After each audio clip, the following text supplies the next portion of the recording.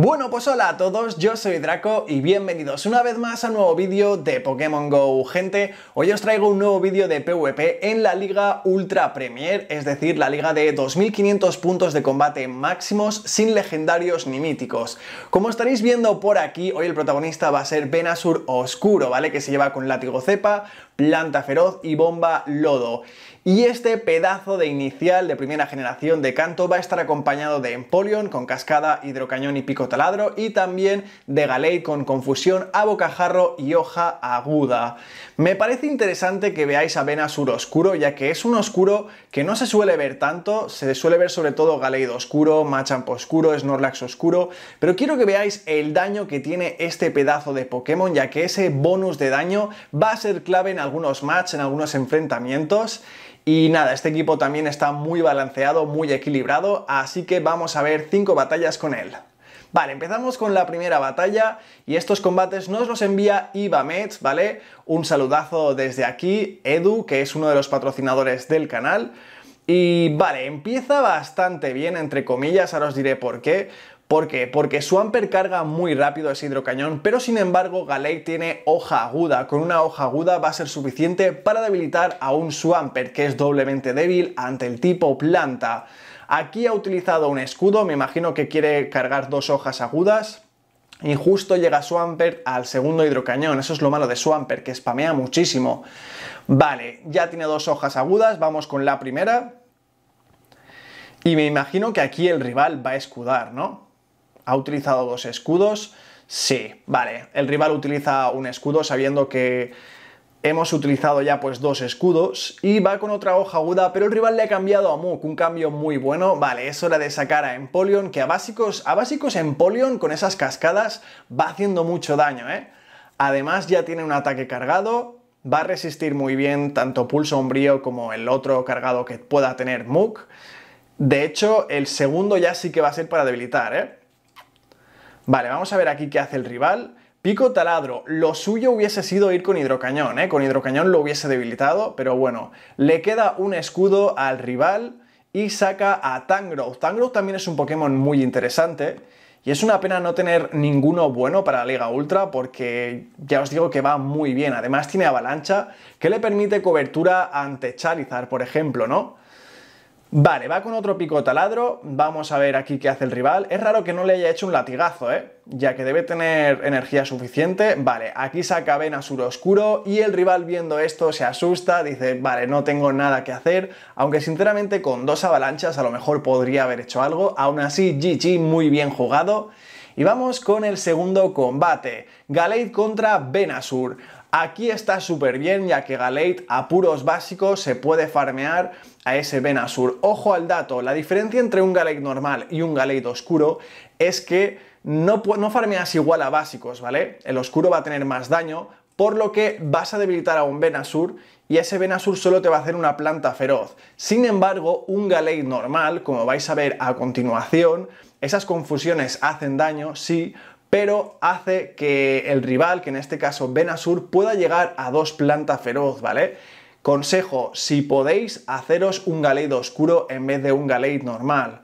Yo no tengo ninguno, todos los oscuros que tengo de Ralts son hembras, he tenido esa mala suerte, pero bueno, es un dato curioso, ¿no? Vale, aquí saca Togekiss, eh, nuestro amigo saca Empoleon y el rival cambia a Swampert, no pasa, no pasa nada, tiene un hidrocañón preparado y decide escudarlo, ¿vale? Le queda un escudito todavía al rival, va a ir a por terremoto, obviamente. Pero no pasa nada, no pasa nada porque lo que le queda en la recámara es un Venasur que es bastante potente contra, contra ese Swampert y también contra Togekiss. Vale.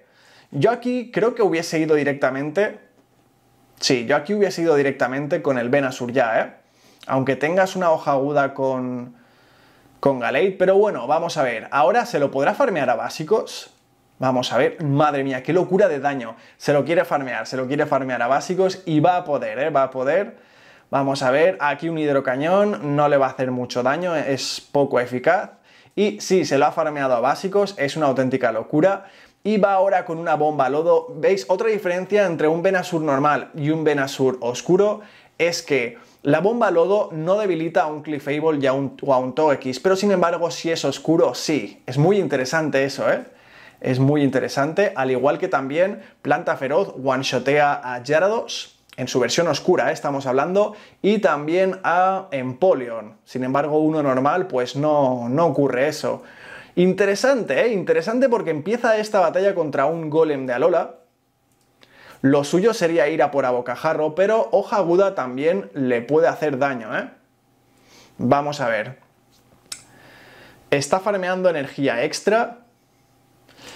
Este matchup es interesante, ¿eh? No sé cuál de los dos lo ganaría, creo que Galate. Galate en teoría lo ganaría, pero es que el otro también está cargando mucha energía con voltio cambio. Y vamos a ver, pedrada, vale, lo puede resistir, es poco eficaz. Aquí quería baitearle otro escudo y vamos a ver con otra hoja aguda esta sí que sería ya para debilitar. Está muy parejo, ¿eh? está muy igualado este matchup. Decide escudar, interesante. Y aquí nuestro rival va a sacar a Venasur sabiendo que va a aguantar todo bastante bien. Vale, ha sacado un Gardevoir oscuro, pero ese Gardevoir oscuro no tenía encanto, tenía confusión. Interesante también, ¿eh? Interesante elección. Vale, aquí va a ir a por otro bomba lodo, vamos a ver si llega. Mm, ha llegado antes el Venasur enemigo. Vale, pero decide escudarse, es un planta feroz. Vale, y quiero ver un bomba lodo, a ver el daño neutro que le va a hacer a ese Venasur. Madre mía, es increíble, ¿eh? Más de media vida. Es increíble. Y aquí estaba apretando ya el planta feroz, pero nada, ha llegado un milisegundo antes ese otro Venasur que le lanza bomba lodo. Vale. Ahora va a sacar... ¡Dios, qué justo! ¡Qué justo, chaval! ¡Qué justo! Madre mía, Galate también. Galate creo que es el MVP de la Liga Ultra en esta Season 3, en esta tercera temporada. Porque ya veis que hace maravillas también, ¿eh? Hace maravillas. El primer día que salió la Liga Ultra ya le dedicamos un vídeo porque es un Pokémon espectacular.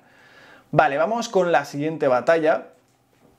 Galate contra Ninetales. Interesante, aquí tiene que cambiar, ¿eh? Sobre todo si tiene encanto, si tiene encanto tiene que cambiar. Y cambia a Venasur. Vale, el rival saca su propio Venasur y vamos con un Bomba Lodo. Recordad que los Pokémon oscuros eh, tienen un bonus de daño del 20%, pero también tienen, reciben un 20% más de daño, ¿vale? Para igualar la cosa. Vale, eh, le ha baiteado un escudo con planta feroz, que no le hubiese quitado nada. Y él va a ir con otra, con otra bomba lodo. Vamos a ver. El rival vuelve a escudar, vale. Ya no le quedan escudos al rival, ¿eh? Yo aquí no escudaría, sinceramente, porque una bomba lodo la puede aguantar.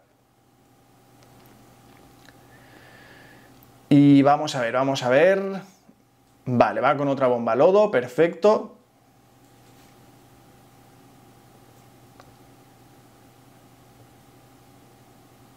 Y saca a Galate. Saca a Galate para tanquear, para hacer un cambio de sacrificio. Vale, se come el bombalodo. Vuelve a salir Ninetales. Y vamos a ver, vamos a ver. El rival saca. O sea, saca Empoleon ante un Ninetales. Interesante. A ver, va a aguantar los encantos por ser de tipo acero. Psicocarga también lo va a aguantar bastante bien. ¿Se lo quiere farmear a básicos? Sí, se lo quiere farmear a básicos. Vale, no, no, digo, hubiese sido demasiado arriesgado, ¿eh? Va con pico taladro, a ver qué tal, vale, le hace daño neutro y lo, elimina. Y va a sacar a Venasur. Con ese rango de vida yo me lo hubiese farmeado, ¿eh? Ya que con 2-3 cascadas lo hubiese podido debilitar fácilmente. Y lo que le queda en la recámara es otro Golem de Alola. ¿eh? Golem de Alola es un Pokémon también muy divertido. Y nada, con una planta feroz va a ser suficiente para derrotarlo. Vamos a ver, vamos a ver el daño que le hace, es que es increíble, tío. Madre mía. Es increíble Venasur Oscuro, chicos. Ojalá poderme hacerme uno este, este Community de aniversario de diciembre. Porque tengo un Ibisur bueno, ¿eh? Que está esperando a ser evolucionado. Vale, aquí empieza súper bien. Galate contra Machamp. El rival cambia a Charizard. Aquí él ha estado un poco lento, pero cambia a Empoleon. Mirad eso, los básicos, el daño que le hacen. Es increíble.